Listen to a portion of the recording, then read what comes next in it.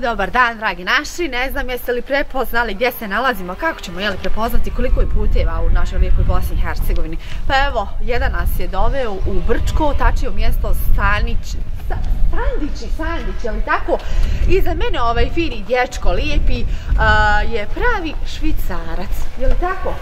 Pa mogu bi se reći tako. Dijana. Drago mi je Stevo, dobro Drago mi je Stevo, hvala ti mnogo bolje, uh, bolje te našli. Mogu li da ne persiram? Čini mi, smo da, čini mi se da smo godinama tu negdje. Tu smo A generacija. nećemo mi o, o, ovaj odavati, jel da? Nećemo, Neka nećemo. misle da smo mlađi. Da, baš tako. Važi, dogovoreno. Stevo se vratio iz Švicarske. Hajde, molim da te pitam. Zašto Stevo? Pa, ovdje ljepši. Život je sam od sebe ljepši. Tamo ti je Da. sve programirano, do nekud je i ovo programirano, pogotovo ako se baviš ozbiljnim poslovima, ali opet imaš do negdje slobodu. Pogotovo sad, kad vidim ove švajcarce moje koje god došao, sad kad, nas je uhvatila ova pandemija, Da, da. svi su ovdje slobodniji, svi maštaju da se vrate, ne znaju su čim da se bave. Jednostavno, taj upit, ri- e, taj upit novca im je velika tačka, naravno nama svima, ali kad vak sagledamo trenutnu situaciju, vidi se da je sloboda najbitniji faktor u životu. Znači, e, Stevo, ti si još prije koliko godina kada si ovamo došao znao čime ćeš se baviti? Ili tek kada si se vratio ovamo rekao si mogao bih ja ovo pokušati? Tako je kod mene bilo ta druga tačka, znači prvo sam mislio da krenem nekim restoranom, međutim sam se odlučio da se bavim poljoprivrednom. E, ti danas, Stevo, imaš farmu ovaca. Jeste? E, nekoliko stotina grla, čini mi se, ako sam Jeste. dobro upamtila, ja i moje procjene, moje pamćenje, Stevo, dragi. E, danas ti tu pomažu neko ili Pa imamo i radnika, imamo, tu su i moj roditelj stalno uz mene od samog početka. Ovaj, i A kao podrška onako kada se htio vratiti, jesu li tada rekli mu, idi Pa sine ne, ili oni ono? su bili protiv naravno, svi gledaju, sagledaju siguran život tamo, ali eto ovaj, mene možda i sestra povukla koja se vratila 2000. godine, koju sam bio isto jako vezan za nju, mada ih imam četir, Mhm.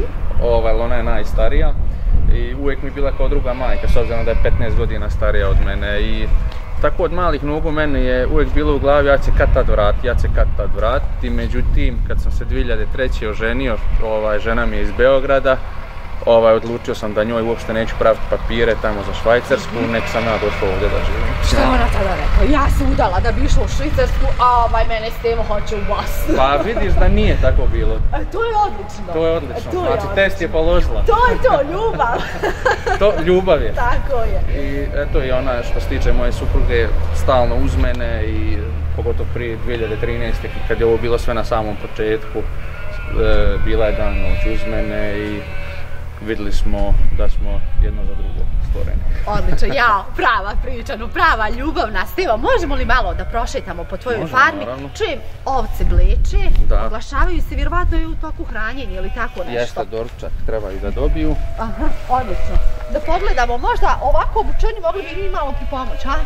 Pa trebali bi jedino čizme obući. Malo je kaljavo, ali sada radi, to je radi mašina. Neka.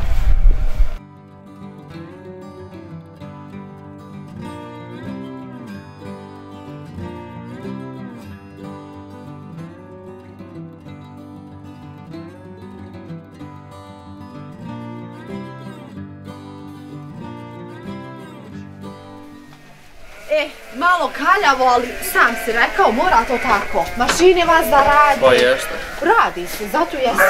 Da, dan noć. Dan, noć, dobro, Stevo, tu ti ne bih malo pozavidjela, ali kada vidim ovakvu brojnu stado, onda mogu komotno da kažem svaka čast i mašala.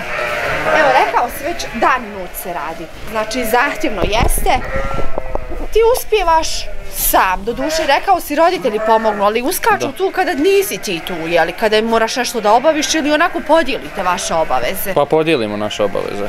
Ja sam tu za organizaciju naravno i za teže poslove mašine, e, organizacija njiva, sjetve, oranje, sijanje, a oni su ovdje, što bi rekli da je neko tu prvenstveno i čisto ovako što mogu hraniti što ne mora mašina, Da. zato su tu i to. Ona je nekako lakši dio, što bi se rekao, ti hranu Pa obezbediš, da, ne bi ja ni doneseš- dopustio da on teži dio radi. Naravno, naravno. Evo, bi li mi mogao opisati onako kako to izgleda jedan dan na ovoj farmi? Jedan dan na ovoj farmi, pa uvijek je različito. Znači, ujutro dođeš, pripremiš hranu ili uveče pripremimo za sutri dan. Da? Onda pometemo hodnike, odemo preko puta farme da nam se nalazi sijeno i silaža. Uhali su nam žitarice, Ukrali? uhali, Uhali? uhali su nam žitarice.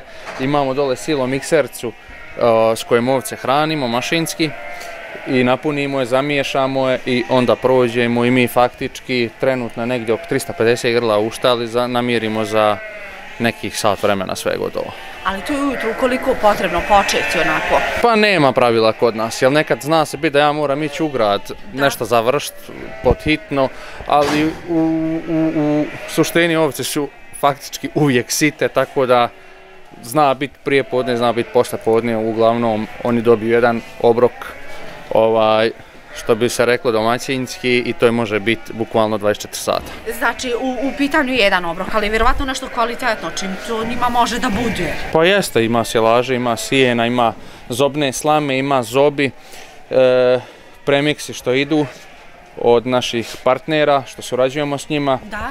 i pa eto na njih 350 komada trenutno ide, ide dnevno oko 2200 kila sila, ovaj hrane ukupne. Hrane. E, ja znam da dio vaše hrane, hrane za vaše ovce proizvodite vi ovdje, a dio kupujete, evo i sami ste spomenuli partner, je li tako? Pa jeste, normalno i mi pratimo tržišnu cijenu i mi gledamo koji svako drugi ovaj koliko je moguće što jeftinije da kupujemo. E, sad trenutno kakva je globalno poskupljenje širom zemaljske kugle, normalno da od nekih žitaricama moramo odustati jer nam se jednostavno ne isplati ih dodavati u obrok, jeli pogotovo sad trenutno suncokret je najbolji primjer, on je baš užasno ošao gore s cijenom, tako da trenutno ga ovce i ne dobijaju. E, čime to mijenjate? Ne, Pa dodamo, e, to se odmah laboratorijski uzorci radi da bi se, Da. da ne bi protein ovaj što trebaju ovce u dnevnom obroku da dobiju, ovaj pojača se, da li to bilo kukuruzom, da li zobi, uglavnom mora se neđe izbalansirati da bi bio ovaj e, hranljivost proteina 16%, da se ne bi bez veze što bi se reklo hranili ovce i, i, i gubili hranu, a ne imali rezultate. E, naravno. E, evo, znamo da je ove godine nekako sve baš poskupjelo, otišlo je u beskonačno, čini mi se cijeni. Normalno da je sve uticalo na to.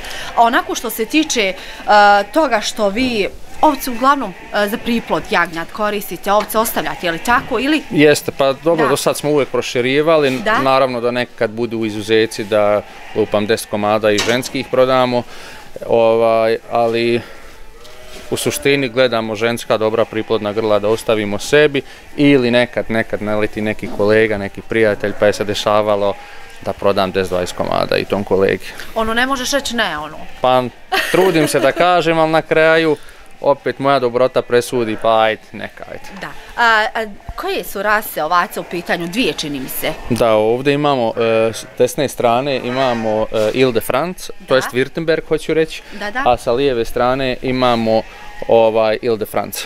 A, po čemu se one razlikuju onako i to? Pa prvenstveno ovaj Württemberg su švapske ovce, Da? Merino vrsta, Da. a Ile de France isto u merino vrsti samo što su ovaj one francusku Da. porijekla. Da li onako što se tiče nekih karakteristika, da li su izdržljivije, lakše podnose ovo, daju, bo, daju bolje ono ili... Pa znate kako, ja prvenstveno, ko što se vidi više i Württemberga, imam, kao prvo počeo sam prvo s njima, Da? E sad Ile de France sam uzeo čisto da vidim kako će se pokazati, kao što vidite i njih već ima poprilično fino stado. Ovaj, Württemberg kao, kao ovca mi se bolje sviđa. E, lakše se jagnji, a, a Ilde, Franc u zadnje vrijeme velika potražnja za njim, mada kod nas rijetko možeš i naći čistu rasu. I ako je nađeš, baš je i skupa, ovaj, tako da sve u svemu Württemberg je meni broj jedan, pogotovo što jagnjad brže napreduju. A evo Stevo, e, da pitam, vi kada ste počinjali s ovim, kada ste se odlučili baviti uzgojem ovaca, jeste li imali ikakvo predznanje? Ne, nisam imao ništa. kako je, kako je sve to onda? Kako je krenuli s čime, savjetima? Odakle ste kupili potrebno e, znanje, savjete? Pa išao sam, Da. bukvalno može se reći širom bivše juge, išao sam po farmama da što više informacija pokupim. Znači, ne samo u Bosni, išao sam i za Srbiju. I negdje nisam bio u Srbiji, ovaj, po raznim farmama da bi neke informacije pokupio, ali opet mogu reći dijelo i, i, i, i, i knjiga, Da. ovaj, normalno danas je internet, ovaj, moraš jednostavno čitat, gledati video na YouTube, učiti jednostavno, eto. I onda s vremenom te stvari i što se trebaju desiti, što se ne trebaju desiti, doživiš na djelu. I to je ono što bi se rekao iskustvo, tada najbolje Pa ti jest. to... Na, na To je dijelu to. naj, najprije uči čovjek. Da, A, sada vjerujem da mnogo toga znaš o njima. A, I kažu, uglavnom, ovi koji imaju ovce, koze, nebitno koje životinje, mi njima moramo biti u neku ruku i veterinari, bar nešto onako brzinski da znamo reagovati. Jeste. Dok ne dođe baš veterinar. Pa jeste. Šta Pa- je onako, šta si moram učiti, šta ti je najteže palo? Da li je to možda janjinje? E, pa najteže je e, bilo kad je u toku jagnjenja ovci ispala materica. E, tu sam ja morao tu matericu da očistim i da je vratim. I ovci naravno e, da sašijem vaginu. Jer ona to osjeća kao strano tijelo, zato što je se ohladilo. Da. I ona to tiska, misli da je drugo jagnje. Tako iz tog razloga moraš joj vaginu sašti da bi se materica ponovo ugrijala i da nema napona više, da bi se to sve smjerilo. Da li si do tada e, znao kako postupiti u tom slučaju ili si samo onako djelovao više instinktivno? Pa tu je preventiva, ta knjiga i ti Da, da. vidi se pokazali da sam da sam dobro to uradio, Da, zna, da. da sam odradio dobro što Je li- sam, Je li ona preživjela? jeste. Ja, e, svaka čast. Odlično si to odradio, svaka čast, evo. Hvala. Jer da si od tada onako bio ponosan na sebe, u mogu Pa ja i kako ovo. da ne? Da, svakako. Jer ja sam se prepao kad sam vidio šta se dešava. Nar a bude tako tih nekih, To mi je jednom se desilo. Mhm. ali ovako neki slučajeva da li je bivalo, da li se nešto dešavalo, da si ti morao uskočiti, da se one povrijedi ili šta već znam. Pa nije se dešavalo. Uvijek gledaš da negdje ne viri ekser, da ne bi oko oštetila, da ne bi se ogrebala. Jednostavno moraš misliti kod da ti je dijete u kući, eto, bukvalno tako. Da. Evo, malo čas sam uh, spomenula, uh, vjerovatno si ponosa na sebe kada si uradio taj, taj herojski čin po, po mom mišljenju. A pretpostavljam da si mnoge iznenadio svojim hrabrošću i time kako si se snašao u ovome. Uh, spominjala sam ponos, pa vjerovatno su danas tvoji roditelji ponosni jer ovo savršeno funkcioniše Stevo. Pa ja mislim da jesu. Inače, prvenstveno me sigurno ne bi podržavali kad god treba. A ponosan sam i ja naravno na sebe, jer najbolje ja znam kako je meni bilo u početku. Lju- U nas ljudi samo vide završan rezultat, a dok ti dođeš do tog rezultata, to niko ne vidi. Tako. Mene niko ne vidi kad ja ljeti u 2 u 3 sata noći kupim sjeno na njivi. Što je najgore, evo i ove godine sam samo jednog dječka imao u, u najvećoj sezoni e, gdje smo za noć, to je za dan e, mogli, to je znali do 2-3 bala dnevno pokupiti. Nas dvojica natovarti, istovarti i ponovo u njivu. Da li to važi Stevo da je danas teško a, naći radnika koji će se baviti ovim? Svi bi nekako da radi nešto lakše, da manje prljave poslove u, u, u smislu ovoga. Pa znate kako, i, i, i, i kad odeš na zapad, isto na građevini je isto prljavo i, i, i mi ovdje opet imamo topli mentalitet nego tamo na zapadu, oni su pri, poprilično hladni ljudi. Da. Na, njega zanima samo završni rezultat, ali da li si ti mokar, prljav, mrljav, njega ne interesuje. On hoće završni rezultat, dok mi e, ovdje također isto imamo problema s radnom snagom, e, mi smo po prirodi ljubazni ljudi, ugostimo i radnika bukvalno, ali ovaj, imao sam dosta situacija gdje se to jednostavno nije prepoznalo, znači e, dadneš mu i, i, i dobru platu i dobar posao i u nas je poprilično već sve mašinski, znači rijetko kad nešto još radiš ručno, ali ne znam, ja imam jednostavno osjećaj da ljudi ovdje ne znaju da prepoznaju svoju životnu šansu. Jer sam imao isto takvih e, s- e, radnika gdje sam mu sve dao što je tražio od mene, a za uzvrat me razočarao nekim dijelima što nije trebalo da se desi. To se nažalost dešava, nažalost. I nije uvijek samo do poslodavca. Nije. ima i do toga normalno, ali dosta su i radnici krivi. A evo, generalno, što bi se reklo, možemo zaključiti da je teško pronaći radnika koji će raditi ovo, onako baš raditi, dati se za ovo, za ovaj posao. Znate kako, ja uvijek kažem, e, ili i u priješnjim snimanjima što sam imao, čitao sam komentare, vjerovatna je loša plata. Nije sve, nije plata.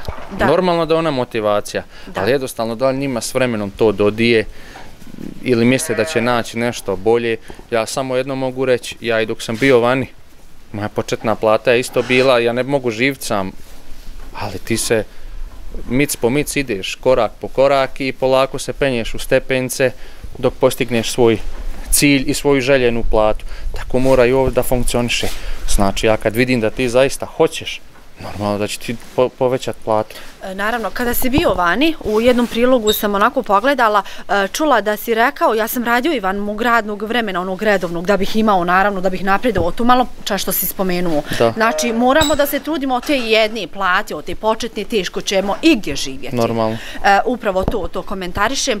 E, Stevo, znam da imaš ovdje još jednu, čini mi se štalu. Da pogledamo i tu drugu, pa da Može, nastavimo naravno. naš razgovor. Može, mnogo ja naravno. ispitujem, mnogo.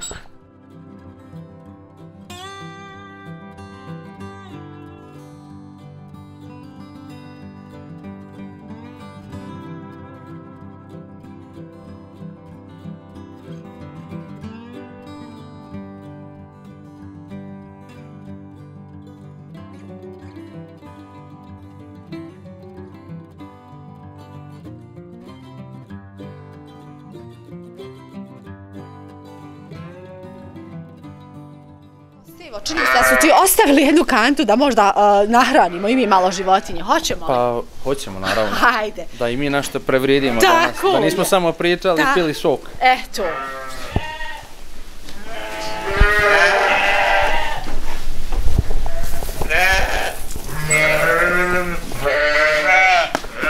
Šta im to daješ? Šta je to? Tu je smjesa naša, tu ima zobi, Zob? kukuruza, Da? Ječma što se trenutno nađe u objektu, pogotovo u ovakvim teškim vremenima kad su žitarce skupe. Dobro.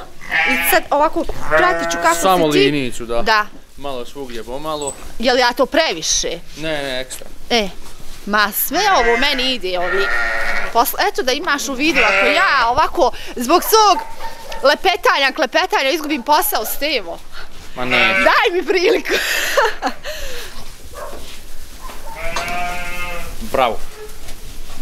Jel, aha, imamo još gore. Kako ste vi mudre, pojedete na jednom mjestu pa se vraćate dalje. Da, da. Znaju oni gdje ima više.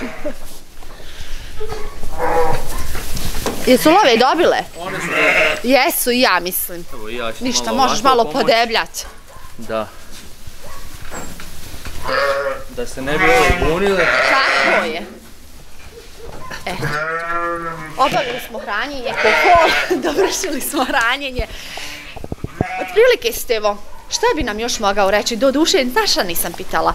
A, jesi li se ikada pokajao? Ne, Nikada. nikada. E, onako, a, zamišljao šta bi bilo, kad bi bilo? Ne. ne. Znate kako? Ja kad pogledam, ja sam i tamo sedam godina radio. I kad pogledam sedam godina tamo, a sad osam godina ovdje, Da? Ja sam puno više ovdje uspio nego da sam tamo ostao. To je moguće. Da. Jeste li čuli ovo? Ipak pričamo o zemlji, znači budućnosti. Normalno da u mene nema radnog vremena. Meni zna biti radni dan 20 sati kad treba. Da, Ali tako i mogu nekada da uživam. naravno. Meni zna biti hladno produžen vikend. Ali ovaj, jednostavno, tamo sam se okreću bukvalno u krug. Tamo se samo radi, plaća se stan, e, što su naravno velike kirije, Da, da. osiguranje, onda svi naravno sebi hoćemo nešto da pružimo, tu odma ili se kupi stan ili pod kiriju, ili ide odma neka kola, ili ja, na primjer, isto vozio sam motore. Ti faktički sav onaj novac što zaradiš, potrošiš na neki luksus. Da. A ja mislim da je bolje prvo uložit, par godina biti strpljen i onda ti Bog dadne da uživaš, uživat ćeš. I evo, Boga mi, ti si fino dokazao da se sve može i ovdje se i kako može uspjeti, svaka ti čast, evo. Hvala. Evo, samo da pitam, kada bude janjenje i to otprilike kreće to za nekih 20 dana, a? Pa već je počelo, manja ekipa je već krenula, ali u nas ima u toku cijeli godine jagnjadi. E sad udarno naravno da će krenuti još malo, možda za neki mjesec dana. Ali dobro, onako u proljeće kada se sve zazeleni, očekujemo ovdje i mala jagnja, tako da možda opet da navrnemo Stevo. Možete naravno. Hvala ti mnogo na razgovoru. Ništa, Mi se nadam se čujemo ponovo, vidimo Dođite. ponovo. Ja želim mnogo sreće, Hvala. uspjeha u ovome što radiš. Također, hvala. I hvala što si pristao da pričaš za našu televiziju. Uvijek. I vama, dragi naši, hvala što ste nam tu, što ste podrška, što nas gledate, pratite, bodrite. I evo neka kadar, onako neka završimo s ovim divnim ovcama, ne sa mnom.